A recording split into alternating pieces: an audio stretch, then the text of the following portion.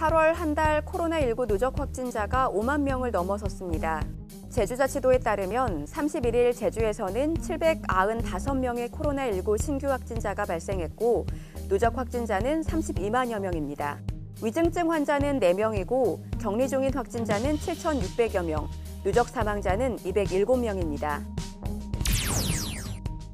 학생 코로나19 확진자가 크게 늘어나더라도 전면 등교 수업이 계속 유지될 것으로 보입니다.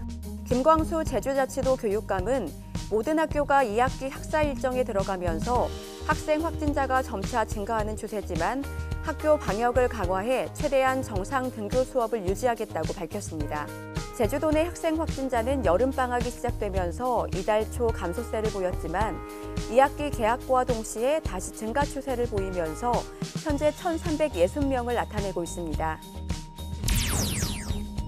문화재청이 올해부터 범섬과 문섬 등 천연 보호구역에 대한 내저 활동을 금지한 사실이 뒤늦게 알려지면서 업계 반발이 이어지고 있습니다.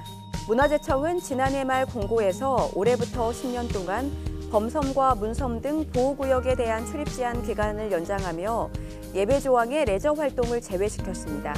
문화재청은 제주자치도의 의견을 묻고 진행했다는 입장이지만 제주자치도는 소통에 오류가 있었다면 뒤늦게 문화재청과 협의를 이어가고 있습니다. 제11호 태풍 흰남노가 북상함에 따라 야생 적응 훈련을 해오던 남방 큰돌고래 비봉이가 다시 수족관으로 긴급 이송됐습니다. 해양수산부는 태풍 영향으로 해상 가두리가 설치된 서귀포시 대정읍에 높은 파도가 예상되고 해상 가두리 파손 우려가 커져 비봉이 방류 협의체와 협의해 다시 수족관으로 이송했다고 밝혔습니다. 비봉이는 당분간 수족관에서 야생 적응 훈련을 받게 되고 태풍이 지나고 해상 가두리를 보수해 10여일 후 다시 가두리 훈련장으로 보낼 계획입니다. 벌초를 마친 뒤 음복 후에 음주운전을 하는 사례가 잇따르고 있습니다. 제주경찰청에 따르면 지난 주말인 27일과 28일 이틀간 18명의 운전자가 음주운전을 하다가 적발됐습니다. 이들 가운데 7명은 낮 시간대에 적발된 것으로 알려졌습니다. 제주경찰청은 추석 전 벌초가 마지막으로 이루어지는 이번 주말 사이 음주운전 단속을 강화할 방침입니다.